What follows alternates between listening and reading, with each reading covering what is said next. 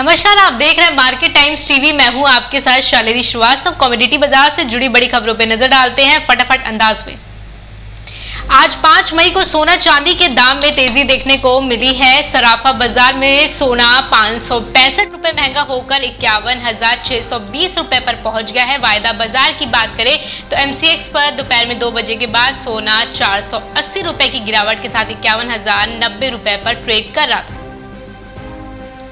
देश के सबसे बड़े प्याज उत्पादक प्रदेश महाराष्ट्र में किसान दाम को लेकर बड़े संकट का सामना कर रहे हैं। इस साल उन्हें लागत से कम दाम पर प्याज बेचने के लिए मजबूर होना पड़ रहा है। किसानों के मुताबिक प्रति किलो प्याज उत्पादन की लागत पंद्रह रुपए से अधिक हो गई है, जबकि काफ़ी किसानों को सिर्फ़ एक रुपए प्रति किलो के रेट पर प्याज बेचने के लिए मजबूर होना पड़ा।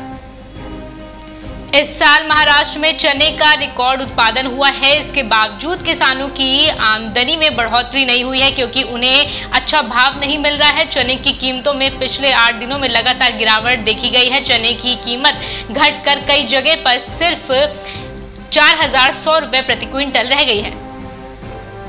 महाराष्ट्र में एक तरफ़ जहाँ कपास को रिकॉर्ड रेट मिल रहा है, वहीं दूसरी ओर सोयाबीन के दाम में लगातार गिरावट जारी है, जिन किसानों ने उच्च दरों की चाह में सोयाबीन स्टॉक कर लिया है, उन्हें भारी नुकसान हो रहा है। वर्तमान में खरीफ सोयाबीन की आवक अंतिम चरण में है, सोयाबीन आयात से सोयाबीन की कीमतों पर असर पड़ा है। भारत का गेहूँ उत्पादन 2022-23 में करीब पाँच दशमलव सात प्रतिशत कम रहने की संभावना है। अप्रैल में तापमान में बढ़ोतरी के बाद पहले के ग्यारह सौ तेरह दशमलव दो लाख टन उत्पादन के अनुमान की तुलना में अब ये एक हज़ार पचास लाख टन उत्पादन होने का अनुमान है। वहीं सरकारी खरीद आदि घटकर एक सौ पंचानवे लाख टन रह गई है। इसके बावजूद सरकार के निर्यात पर रोक लगाने की योजना नहीं है। केंद्र द्वारा कपास पर आयात शुल्क कम करने के बाद सूती धागे की कीमत में चालीस रुपए प्रति किलोग्राम की वृद्धि हुई है। त्रिपुरा गारमेंट ऑनर्स एसोसिएशन ने मंगलवार को एक बयान में हड़ताल की घोषणा भी की। कपड़ा इकाइयाँ ज़्यादातर निर्यातक चिंतित हैं कि सूती धागे की कीमतों में बढ़ोतरी से उनके कारोबार पर बुरा असर पड़ेगा।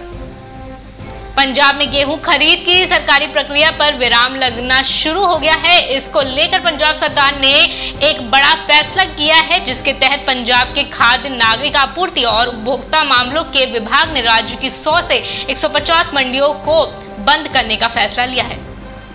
दिल्ली एनसीआर में बुधवार की शाम तेज हवा चलने, हल्की बारिश और ओले गिरने से मौसम सुहाना रहा।